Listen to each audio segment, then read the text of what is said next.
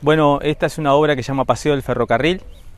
Eh, la idea de esta obra fue agregarle valor a este espacio público y también eh, hacer este, un rescate histórico de la localidad eh, a, través del paseo. bueno, en este momento estamos, ya estamos por finalizar la primera etapa de la obra y, y bueno, seguramente la segunda etapa ya se finalice en, en la siguiente gestión. yo creo que eh, estamos muy satisfechos como, como hemos desarrollado la, actual gestión. Eh, todo fue en base a la planificación y hemos ido cumpliendo los objetivos que nos hemos planteado. Obviamente que faltan muchísimas cosas por hacer, pero, pero bueno, eh, venimos siempre siguiendo la, hoja de ruta. y esa es la idea ¿no? de, la próxima gestión, continuar con los, los proyectos sociocomunitarios que, que han dado muy buenos resultados. ¿Cuál es tu idea de proyecto? ¿Qué proyectos tenés para, como que sí, bueno, cuando yo esté ejerciendo, quiero hacer? Bueno, mi, hoja de ruta va a ser continuar con eh, obras de infraestructura, obras de obras públicas que, mejoren la calidad de vida de los vecinos, como es el caso de la, continuación del cordón cuneta. Eh, me planteé el objetivo de, poder lograr un 100% de cordón cuneta ese es uno de los objetivos. También eh, es continuar con, el trabajo con las instituciones, que hemos hecho un muy buen trabajo en estos cuatro años. Eh, hemos trabajado en conjunto con, todas las instituciones y se han logrado excelentes resultados. Trabajar en lo comunitario, en, lo cultural, en lo deportivo, siempre apoyando todas esas cuestiones que, tienen un gran valor para, una comunidad. ¿no? Sí, tenemos un proyecto eh, que es la planta de reciclaje, de reciclaje acá en la localidad. Eh, es un proyecto que todavía no, hemos llegado a, lograr las metas que nos propusimos cuando eh, todos los actores nos juntamos a, firmar un convenio con la idea de, que esa planta esté operativa al 100%. Eso aún no se ha logrado y, bueno, hay muchos actores que están interesados en el tema, obviamente a todos los hemos sumado y el objetivo es lograr eh, concientización y, reducir al mínimo todos los desechos que vayan a, disposición final en un basural a cielo abierto. ¿no? Eh, yo creo que ese es un tema que ocupa que, tendría que ocupar ¿no? estar en, la agenda de todos los eh, de todos los municipios y todos los gobiernos para, dar solución al problema de, los residuos ¿no? que generan tantos inconvenientes y, bueno, acá en Arroyo Barú estamos tratando de, de ordenar esa cuestión, poner nuestro granito de arena para, para colaborar con el, con el medio ambiente. Importante actividad también que involucra a los chicos del colegio, que son muchos.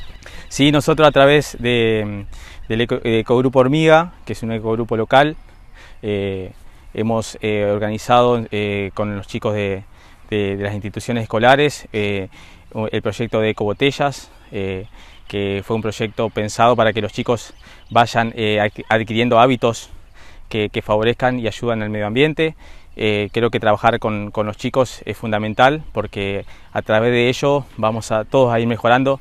Por ahí las personas más grandes venimos con otros hábitos totalmente opuestos, digamos, a, lo que es el cuidado del medio ambiente.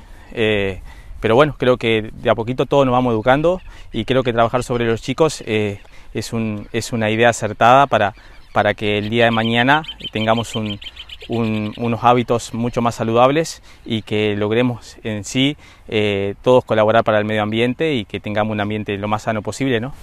Javier, si me tenés que invitar a que venga a conocer a Arroyo Barú, ¿por qué tendría que venir? Barú es un pueblo que, tiene mucha historia, que es un pueblo que está en crecimiento, eh, tenemos también eh, nuestros, nuestros paisajes, nuestros lugares. Y, y bueno, creemos que, que acá van a encontrar tranquilidad, van a encontrar eh, gente sencilla, gente trabajadora. Y, bueno, eh, es un lugar que, todos los días, entre todos los vecinos y, los que estamos en función, eh, trabajamos día a día para que sea un lugar mejor para vivir.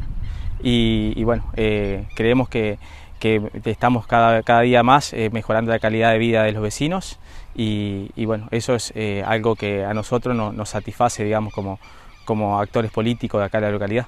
A conocer la biblioteca, el museo y las empresas que están cerca, el puente ferroviario, la historia rica que tiene también y a disfrutar de mucha paz. Sí tenemos la Biblioteca Popular de Arroyo Barú, el museo, eh, las empresas locales. Eh, está el viñedo de Alonso Sáenz acá cerca, eso en materia de turismo, eh, que está acá a 3 kilómetros, que ya tiene actividades en, lo que es lo turístico.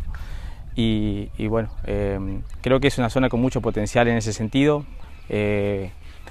por ahí todavía no tenemos la, la estructura, digamos, y no estamos unidos a ningún corredor turístico, pero bueno, son cuestiones que por ahí eh, se, podría trabajar para, para, que la gente pueda venir y, disfrutar del potencial que tenemos acá en la localidad. Exactamente, exactamente, sí, estamos eh, muy cerca de, Villa Elisa, que está de Ubajay, que están, ya están incluidos en el corredor turístico eh, zonal y, bueno, este, igualmente, así todo, eh, tenemos muchos visitantes, uno lo nota los fines de semana, de gente que anda recorriendo, eh, interesándose, digamos, eh, por los espacios públicos y también la parte cultural, el museo, la biblioteca, van al, puente icónico de nuestra, que representa nuestra localidad, que es el, Puente Negro, el Arroyo Barú, y uno se, cruza con esa gente y, y quedan este, impactados ¿no? por, por la, belleza del lugar. Eh, así que bueno, creemos que, es, todo el fruto al, trabajo que se viene haciendo en, en conjunto con toda la